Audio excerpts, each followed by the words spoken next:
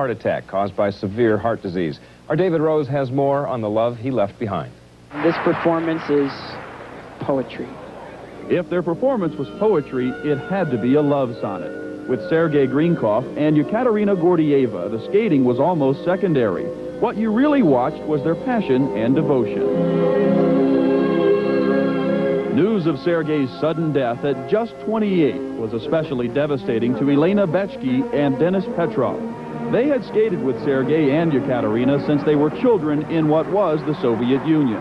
Elena was at the Olympic Center in Lake Placid, New York, the morning of Sergei's death. Morning. I was watching them staying next to each other and being nice to each other, taking care of each other, and I thought, this romance will last forever. Sergei and Ekaterina met in Moscow when she was four and he was eight. Their coaches paired them seven years later, and they went on to win four world titles and two Olympic gold medals. Their romantic style on the ice finally became romance off the ice.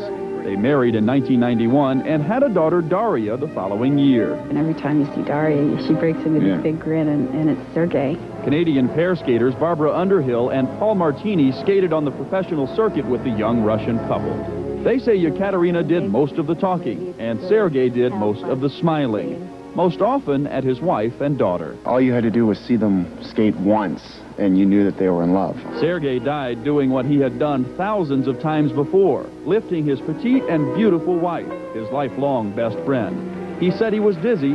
Moments later, he was dying in her arms. They were a real life fairy tale, and, and he was the prince, her prince, and she was his princess, and, and it just, um, it's just really, really sad.